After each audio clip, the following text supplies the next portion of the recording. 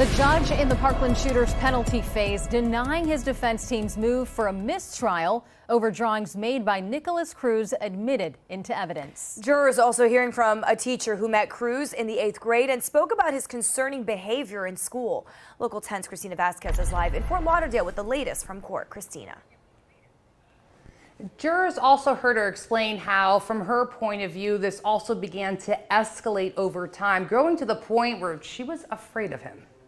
And when I said, I know that you can behave, I've seen you, you're a good kid, he responded by shouting, I'm a bad kid, I want to kill. Jurors saw what the Parkland shooter decided to draw in eighth grade on teacher Carrie Yon's language arts assignments. He designs an ad and a TV commercial for a sex toy. Stick figures in sexually explicit poses, others shooting each other in the face. It didn't feel safe okay. for anyone. And she shared her concerns about his vulgarity. He had drawn a picture of a penis and wrote, F you bitch, at the bottom of the page.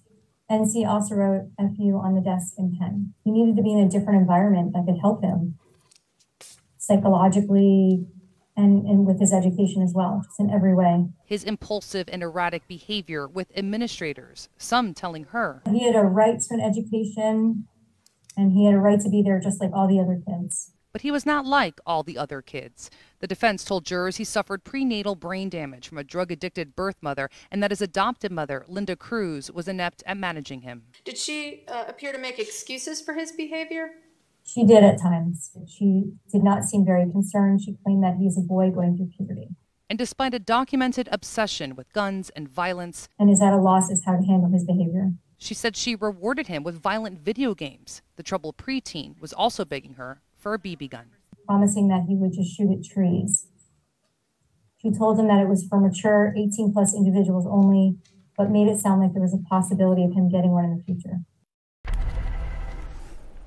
And now, as a companion to that testimony, what jurors are hearing now is from the then principal of Westglades Middle School. And he's really explaining what he described as explosive, but also attention seeking behavior. He also made a reference through testimony about a phone call he may have received from the prosecution, making him feel uncomfortable. Now, this relates to just a short time ago, the defense asking the court for a 24 hour recess. We are unpacking all of that for you, plus the arguments that underpin why the judge did decide to deny a defense request for a mistrial on our website. That's local10.com. Reporting live for you from Fort Lauderdale, I'm Christina Vazquez, Local 10 News.